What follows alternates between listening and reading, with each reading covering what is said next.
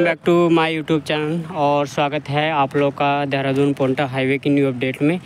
Guys इस वक्त मैं मौजूद हूँ शिमला बाईपास रोड पे और आप देख सकते हैं ये सामने मेंदलीपुर क्षेत्र पड़ता है और इस मेंदलीपुर से तक की मैंने आप लोग को पहले भी अपडेट दिखाई थी तो आप लोगों ने ज़रूर देखी होगी। तो आज मैं आप लोग को इस मेंदलीपुर से सीधा धर्मावाला तक की अपडेट दिखाने जा रहा हूँ कि इस हाईवे पर कितना काम तरीके से इस हाईवे को निकाला जा रहा है इस क्षेत्र में।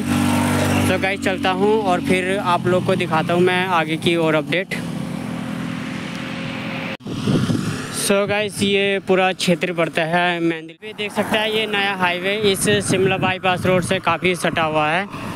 और इस शिमला बाईपास रोड पे गाड़ियाँ काफ़ी फराटे से चलती है यहाँ पर। ये देख सकते हैं अभी। इधर ये हाईवे पर अभी तैयारी शुरू की गई है और यहाँ पर अभी ऐसा काम नहीं किया गया। वाला यहाँ से पाँच किलोमीटर दूर पड़ेगा। गाइस इस मेंदलीपुर में भी एक पुल बनाने की तैयारी की जा रही है और ये पुल इस हाईवे के बीचों बीच बनाया जा रहा है यहाँ ये बनाया जा रहा है गाइस यहाँ पर पुल। यहाँ पर इस हाईवे को ऊपर उठाया जा रहा है, ये देख सकते हैं आप लोग। ये नीचे शिमला बाईपास रोड है और ऊपर से ये देहरादून पोंटा हाईवे बनकर तैयार हो रहा है। ये देख सकते हैं। इस तरीके से इसको हाईवे को यहाँ से ऊपर उठाया जा रहा है और ट्रकों के द्वारा यहाँ पर रोडी भी लाकर डाली जा रही है इस हाईवे के ऊपर। और आगे चल के मैं आप लोग को अपडेट दिखाता हूँ इस हाईवे की। गैस ये वाली अपडेट रहेगी मैंदलीपुर से सीधा धर्मावाला तक की। देख सकते हैं, इधर मकान तोड़े गए हैं लोगों के ये। और इतना चौड़ा ये यहाँ पर हाईवे रखा जाएगा।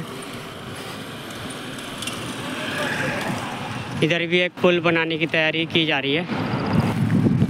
ये देख सकते हैं, दूसरी साइड में भी काम किया जा रहा है इस हाईवे पर। ये इधर भी साइड में पुल बनाया जा रहा है इधर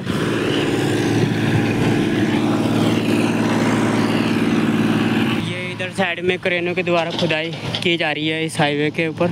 ये देख सकते हैं इधर। साइड साइड में खोदा जा रहा है इस हाईवे को।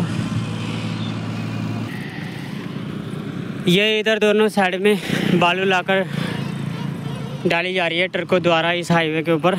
ये देख सकते हैं इधर। और ये क्षेत्र, बद्रीपुर क्षेत्र पड़ता है, जहाँ से मैं आप लोग को अपडेट दिखा रहा हूँ। ये ये पूरा बद्रीपुर गाँव है। आगे प्रतीतपुर गाँव शुरू हो जाएगा।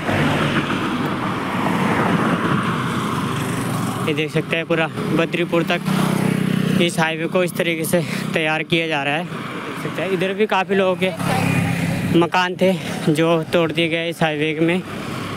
ये यहाँ पर मशीन के द्वारा खुदाई की जा रही है।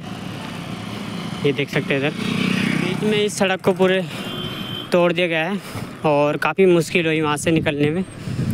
पूरा पानी भरा हुआ है इस क्षेत्र में।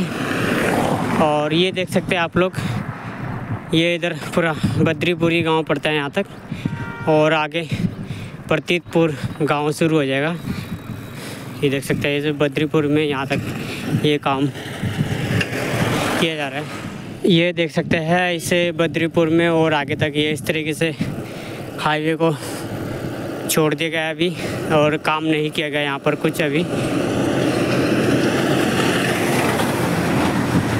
आने वाले समय में यहाँ पर भी काम में तेज़ी की जाएगी। ये देख सकते हैं। सो so गाइस इधर ये बद्रीपुर गाँव ख़त्म हो जाता है और इधर ये प्रतीतपुर गाँव शुरू हो जाता है। सो so गाइस ये प्रतीतपुर गाँव में आप देख सकते हैं, इधर ये पूरा हाईवे कंप्लीट कर दिया गया है, दोनों साइड से। पिछली बार जब मैं यहाँ पर आया था तो अभी एक साइड से इस हाईवे को तैयार किया था, जिस साइड पे मैं साइकिल चला रहा हूँ अभी। और उधर अभी कंप्लीट नहीं किया गया था। और अब आप देख सकते हैं, ये शिमला बाईपास रोड वाला पूरा हाईवे था रोड था ये। और अब आप देख सकते हैं, इन दोनों को एक ही लेवल में ला दिया है। इसी तरीके से आगे भी किया जाएगा, मैंदलीपुर तक। क्योंकि मैंदलीपुर से ये हाईवे शिमला बाईपास रोड से काफ़ी दूर हो जाएगा। तो मैंदलीपुर तक इसी तरीके से इस हाईवे को तैयार किया जाएगा, जिस तरीके से ये प्रतीतपुर में तैयार किया गया है। और अभी आगे काम चल ही रहा है इस हाईवे पर। और गैस ये वाली अपडेट लास्ट रहेगी धर्मावाला तक की, प्रतीतपुर से मेंदलीपुर से।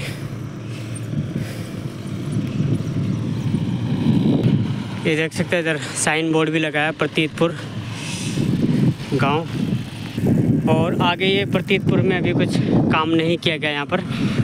ये देख सकते हैं, अभी इधर ये तैयारी चली रही है प्रतीतपुर में।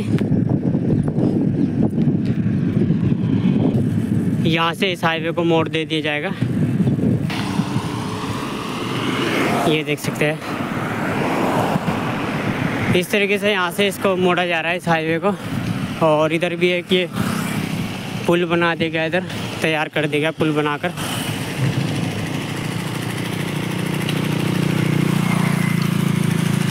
बस थोड़ा सा पास में धर्मा वाला शुरू हो जाएगा।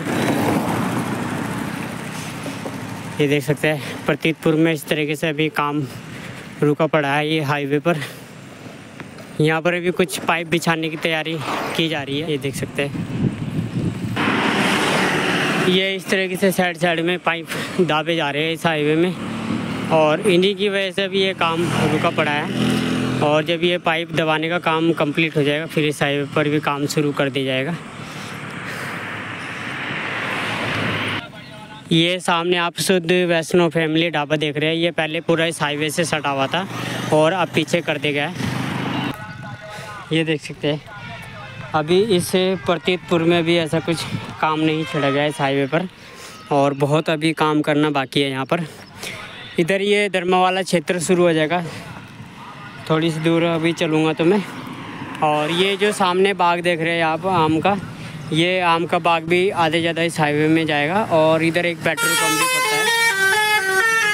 वो पेट्रोल पम्प भी इस हाईवे में चला जाएगा क्योंकि वो पेट्रोल पम्प भी इस हाईवे के बीचों बीच है। तो आगे चल के मैं दिखाता हूँ आप लोग को और अपडेट यहाँ की। ये वाला पेट्रोल पंप है, जो इस हाईवे के बीचों बीच है तो ये पेट्रोल पंप भी यहाँ से हटाया जाएगा। ये देख सकते हैं।